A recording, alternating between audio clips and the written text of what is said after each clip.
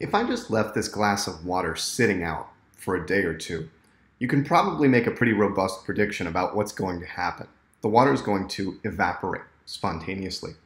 This means that the liquid phase is turning into a gas phase. There's water vapor above the surface of the liquid generated through evaporation.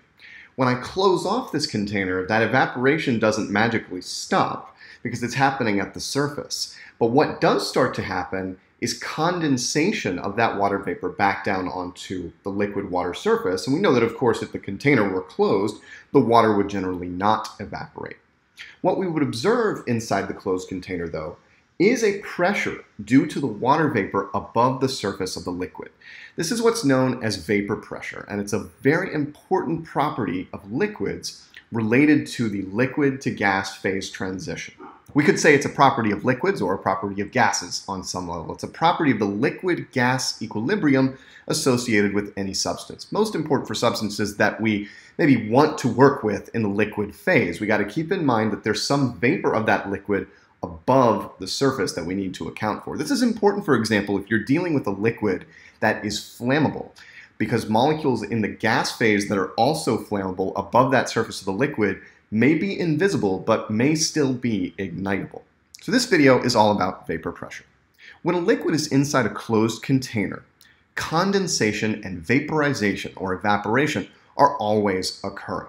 So this equilibrium between liquid water and gaseous water inside, say, a closed thermos of water is always occurring. And the forward direction is vaporization or evaporation, and the reverse direction is condensation. Now, at some point, vaporization and condensation will achieve equal rates. This is a principle of physical and chemical equilibria. If that doesn't make sense yet, just take my word for it. We eventually reach a point of dynamic equilibrium where the rates of the forward and reverse processes are equal, so we don't observe any net mass transfer from the liquid to the gas phase, or vice versa. At that point, there is a gas phase. There are some number of gas molecules present above the liquid. Those gas molecules exert a pressure. This pressure is called vapor pressure or PVAP for short. The figure here shows how vapor pressure comes about when we start with a liquid inside a container and allow it to achieve equilibrium. So say we threw the liquid into this closed container, sealed it off, and looked for a pressure. Initially, there's no pressure because there is no gas phase. But evaporation occurs spontaneously. We know that because if I leave the liquid out in the open, it will evaporate away. And so some molecules enter the gas phase. Eventually, a point of dynamic equilibrium is achieved where evaporation and condensation have achieved equal rates. And there's a pressure observed, say in this attached manometer, due to those gas molecules, and this is vapor pressure. Let's take a look now at a molecular model of a liquid to appreciate what vapor pressure looks like. So here's a sample of liquid neon. We can see we're at the liquid gas phase boundary on the phase diagram around this temperature or so. And there's a definite liquid phase at the bottom, but notice the gaseous molecules are entering and leaving that liquid phase all the time. So gas is being generated and gas is condensing back down onto the liquid. The pressure due to these molecules in the gas phase above the liquid is vapor pressure. And those condensation and evaporation processes are happening right here on the liquid phase boundary. In this problem, we're asked to connect molecular structure to the extent of vapor pressure, or the size of vapor pressure. And to begin understanding this, let's think about this molecular model of vapor pressure and appreciate the connection to intermolecular forces. So vapor pressure is caused by these molecules in the gas phase.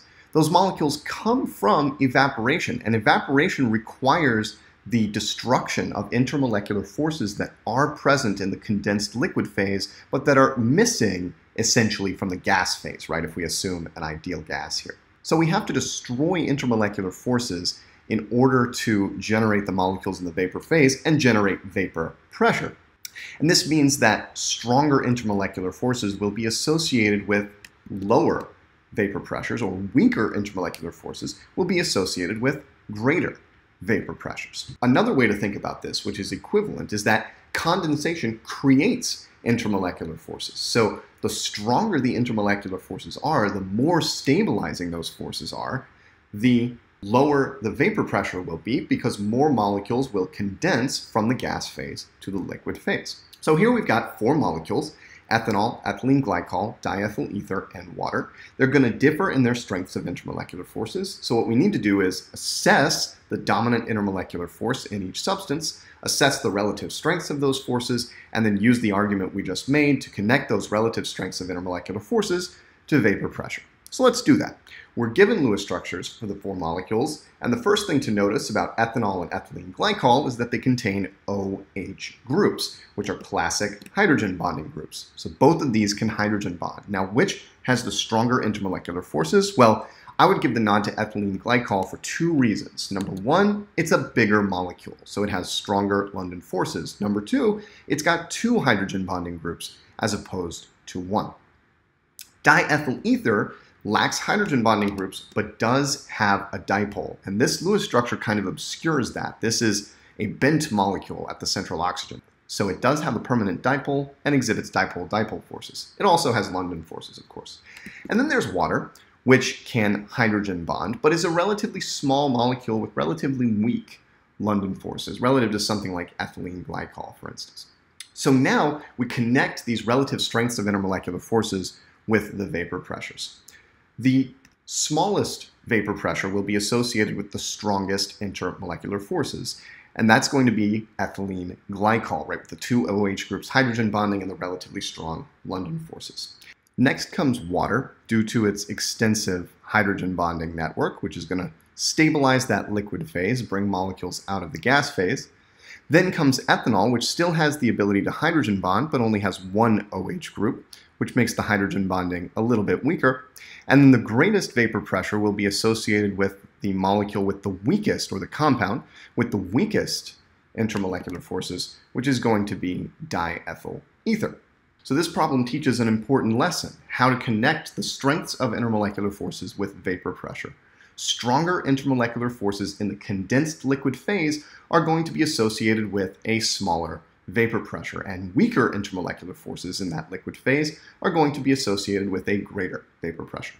Vapor pressure is temperature dependent. This is easy to see, for example, in this simulation. As I heat the liquid, more molecules enter the gas phase, and the molecules are moving more quickly. They're moving at a higher temperature, and so we would expect the pressure to rise just based on the temperature increase, even without considering additional evaporation.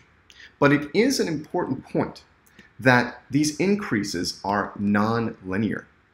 They're not just due to the molecules in the vapor phase moving faster. That's part of the effect, but it's also due to an increased number of molecules in the vapor phase. There's actually a net mass transfer from the liquid to the gas phase as temperature increases. And this is evidenced by the nonlinear shapes of these curves if the ideal gas in the vapor phase were just simply moving faster without any new molecules entering that vapor phase, these lines would be linear, right? They would just follow the ideal gas law. But the upward curve indicates that molecules are actually moving from the liquid to the gas phase.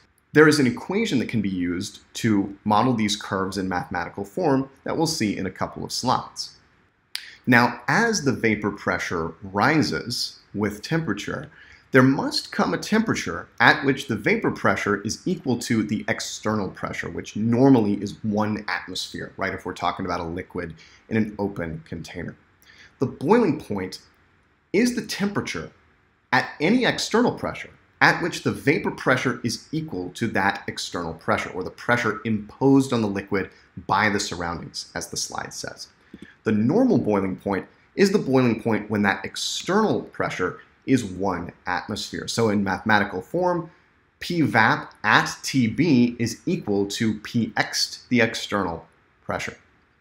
Another useful quantity when it comes to this liquid to gas phase transition is the enthalpy of vaporization. There's some input of heat that is required to facilitate the phase transition from the liquid to the gas phase, and it's called enthalpy of vaporization. This is a heat input for reasons we'll come to in a second. But for now, let's just emphasize that this is a heat with units like joules, kilojoules, something like that. Generally, kilojoules per mole, per one mole of substance, from liquid to gas under standard conditions, and the little circle here indicates standard conditions. Now, vaporization, evaporation, is endothermic. Why? Well, we've touched on this already. The evaporation process causes molecules to go from the liquid to the gas phase. From a condensed phase, where there are intermolecular forces going on, you can see those at the bottom here, to a gas phase where the molecules are basically acting independent of one another. And if I continue to heat this and kick molecules into the gas phase, we can see that more or less they are not interacting with each other or the intermolecular forces are much, much weaker. A heat input, an input of energy, is required to break or destroy those intermolecular forces. This is why evaporation is endothermic. And for the same reason, increasing IMF strength is associated with greater enthalpy of vaporization. Water has a very, very high enthalpy of vaporization, which, if you're a cook, you have a very intuitive feel for. A watched pot never boils. That is because the, the heat of vaporization or enthalpy of vaporization of water is quite high. So, just as we did with vapor pressure, we can connect IMF strength to the extent or size of enthalpy of vaporization.